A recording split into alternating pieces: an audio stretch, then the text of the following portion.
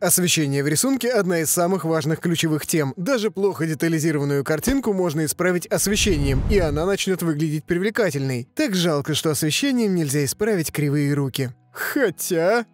«Батюшка, осветите, пожалуйста, руки!» «Не поможет, сын мой, ты же этими руками фурятину рисуешь, окаянный!» Окей. Большинство новичков забивают на тему с изучением света, и из-за этого страдает все их творчество. Но давайте все уже по порядку. И всем панкрок, дамы и господа, с вами CG Speak. Всем здравствуйте, всем привет. Сегодня обсуждаем все про свет, популярные ошибки новичков, виды источников освещения, как отогнать огромную паучиху, ну и тому подобное. Первое, что следует запомнить, несмотря на то, что форма является основой любого рисунка, именно свет эту форму показывает. В отсутствие света, то бишь во тьме, никакую форму мы не видим. Совсем. Да мы вообще ничего не видим. Тьма — это как сердечко твоей бывшей. Или бывшего.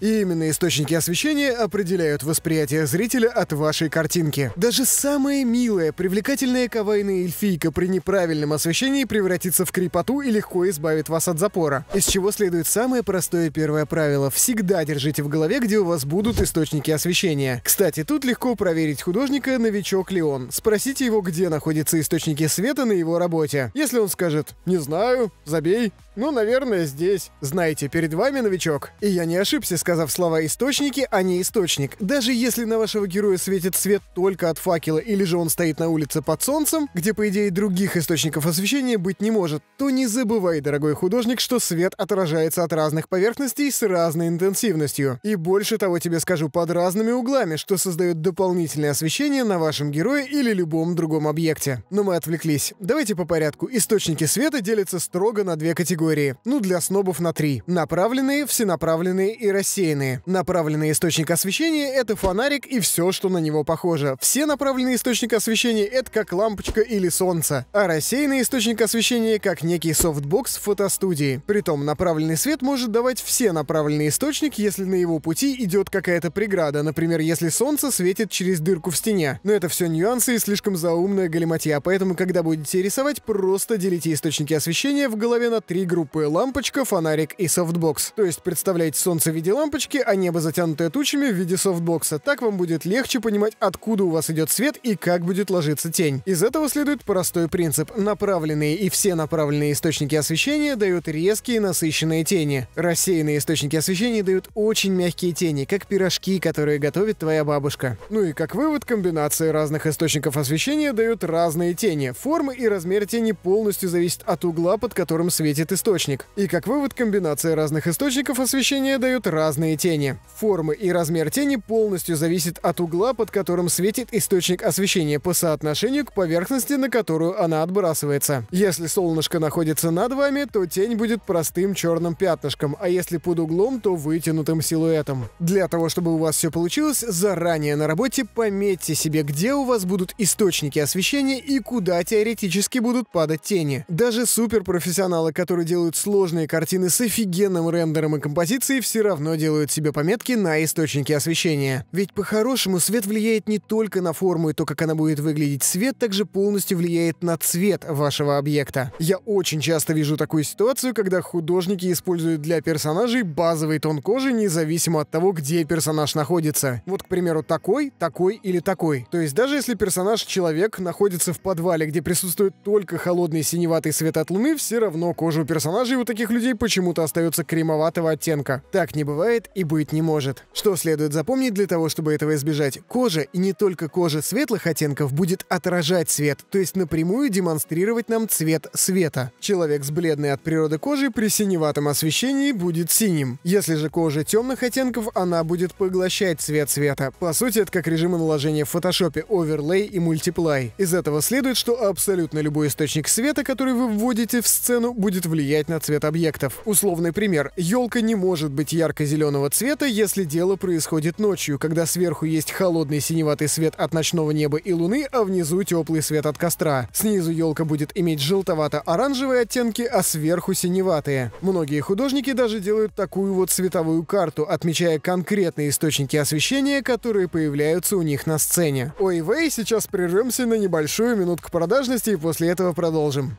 10 апреля в школе Digital Art Club стартовала совместная распродажа курсов «Цифровая живопись» и «Анатомия». Сначала в курсе цифровой живописи вы можете освоить все основы рисования на ПК. Изучение формы, цвета и света, плановости, композиции, качественному рендерингу и работы с референсами. Да и вообще вы научитесь просто делать вкусную картинку, а затем применять эти знания уже на анатомии. Анатомия так это и вообще хлеб с маслом абсолютно любого художника. Вы детально изучите строение человеческого тела, научитесь рисовать пластичные позы и сможете рисовать собственных персонажей из головы. Вы будете не просто знать, какие мышцы есть в человеческом теле, вы будете понимать, как они работают. И, соответственно, будете понимать, как их рисовать уже из воображения. На курс действует огромная скидка в 25% по промокоду CG1010. Впоследствии этот же промокод вы сможете использовать на скидку 10% на любой другой товар школы. Записывайтесь на курс по нашей ссылке в описании описании. Приятного вам обучения!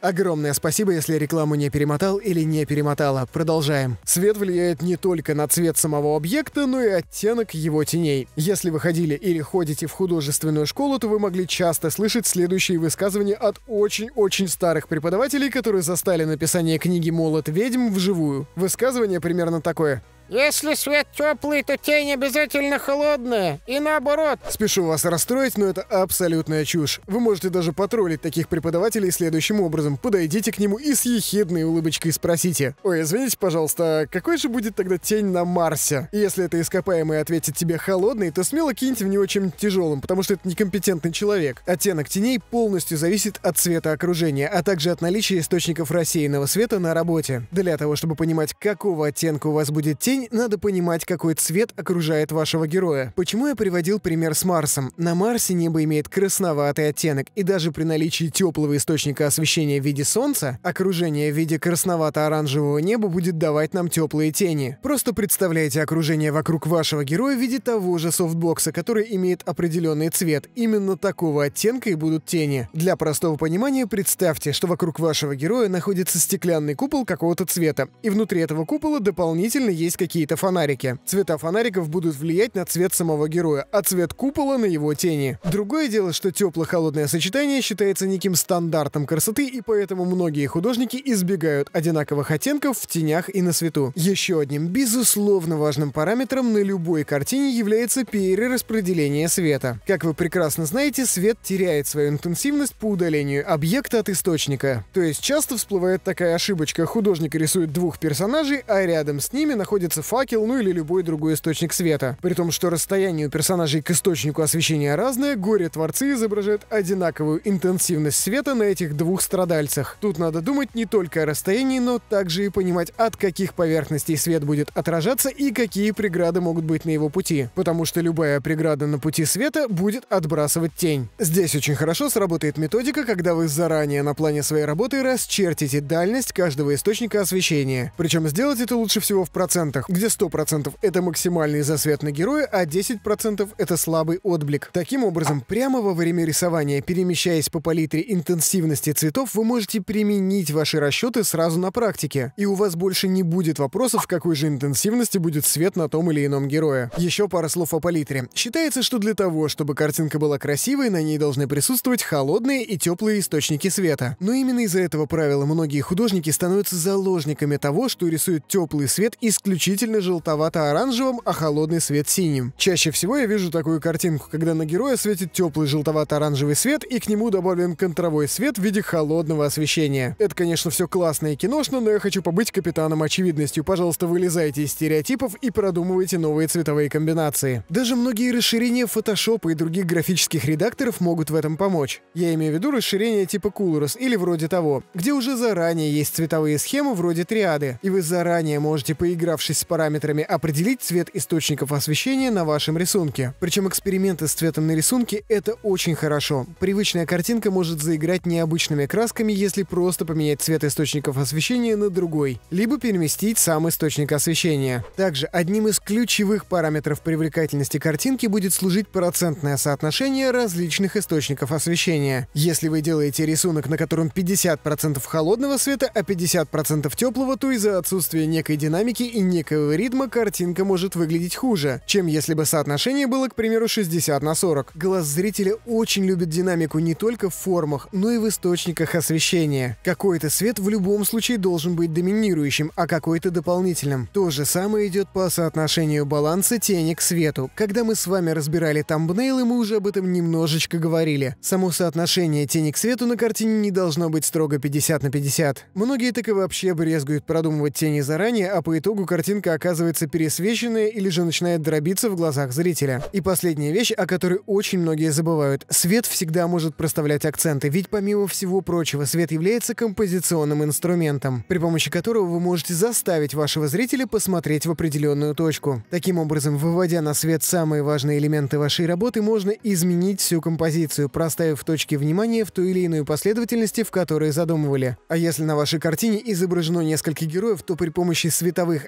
акцентов разного цвета вы можете указывать не только последовательность взгляда зрителя, но и определить настроение работы. Плюс всегда держите в своей голове, чем ярче у вас свет на персонаже или объекте, тем меньше деталей может увидеть зритель. Потому что я часто встречаю такую ситуацию, когда у какого-нибудь персонажа засвеченное лицо, но при этом художник пытается прорисовать ему поры или какие-то мелкие детали кожи. В целом, слишком яркий свет, как очень глубокая тьма. С этим главное не переборщить. Записывайтесь на курс по продвижению социальных сетей на художника на июнь. Вторая ссылочка в описании. А вам большое спасибо за просмотр. Подписывайтесь на наш канал. Ставьте лайки, не забывайте нажимать на треклятый колокольчик. А с вами был Алексей. Всем удачи и берегите себя.